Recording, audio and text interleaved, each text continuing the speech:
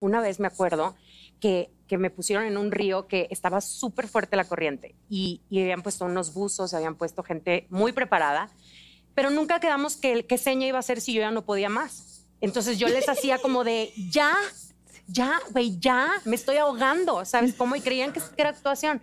Y yo, güey, no soy tan buena actriz.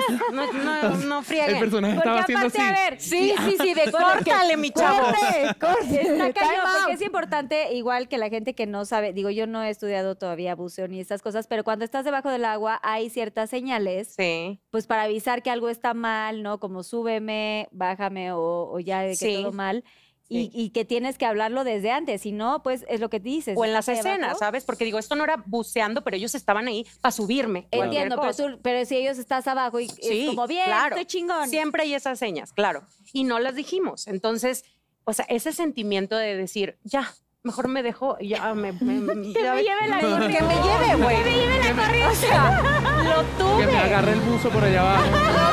Sí, güey. Para eso están los buzos. Ahora no, no, sí que te lleve la corriente. Claro. Que Ah. me lleve la corriente. O sea, ¿En qué telenovela fue? en la que no podía amar. De hecho, Ron se tiró, o sea, un, un compañero actor ¿José vio, él me conoce y dijo, no, esta vieja se está ahogando, güey. Se tiró, me sacó él. O sea, sí fue. Wow. Los demás que dijeron así como, güey. No, ya son, todos nos estamos Todos riendo. cagados. Sí, sí, pero, pero sí no, estuvo fuerte, la verdad.